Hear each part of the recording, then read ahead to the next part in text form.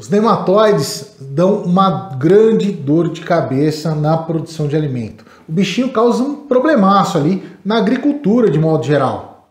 E o controle dele com nematicidas químicos causa um problemão para o meio ambiente. Imagina que louco seria se a gente tivesse organismos vivos ali que pudessem controlar esses nematóides, tipo assim um fungo chamado Pacellomyces lilacinus e é dele que a gente vai falar no vídeo de hoje. Mas antes, deixe seu like e se inscreve no nosso canal.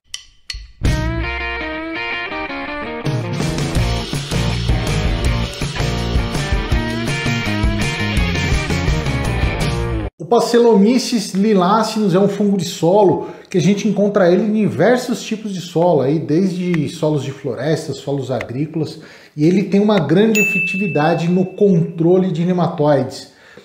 Esse fungo ele penetra nos ovos de nematóide e destrói o embrião. Né? Então ele é bem efetivo aí no controle. Além do que, ele também consegue colonizar ali, penetrar na cutícula das fêmeas e colonizar a fêmea, diminuindo a capacidade de reprodução delas.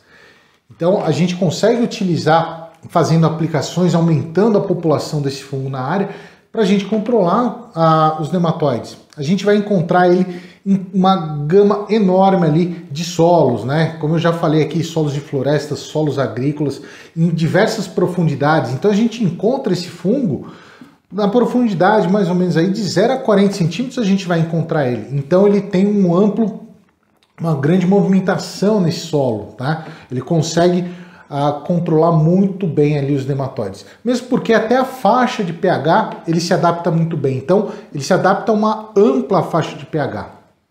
Então é bem bacana a gente utilizar ali, fazer aplicações, a gente consegue já fazer a, a multiplicação desses fungos em laboratório e aumentar a população. Mas naturalmente também ele está ali no solo, né? Se você trabalhar sempre com matéria orgânica, tudo, você vai ter ele ali no seu solo. Mas você pode dar aquela ajudinha para a natureza fazendo aplicação também, né? Do Pacellomyces lilacinus, tá?